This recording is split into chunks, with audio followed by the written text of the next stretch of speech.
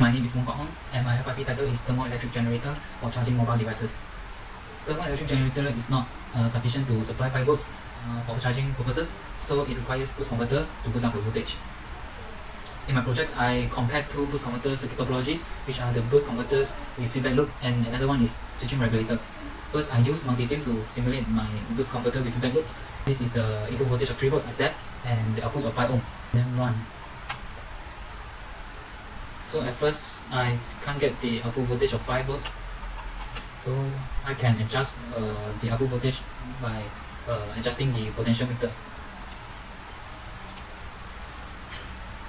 So this is the uh, output voltage transient response. I can get uh, around 5 volts here. Uh, I have plotted the input current, uh, output current, and input voltage and output voltage. So I use output voltage as my example for the analysis.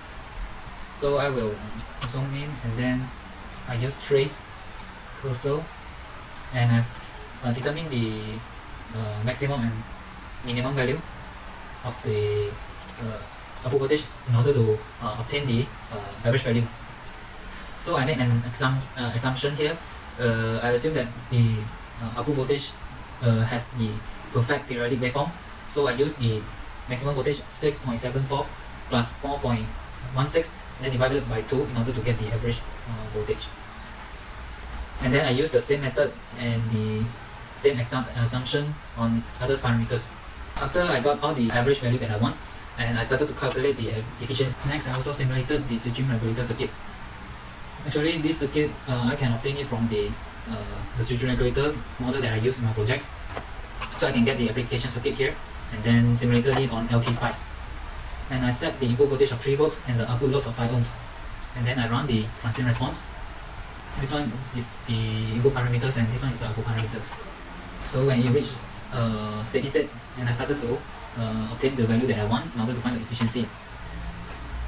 So as shown here is the input voltage which is constant and then the input current is in periodic waveform. So I also use this uh, same method to measure the average value of the uh, input uh, current.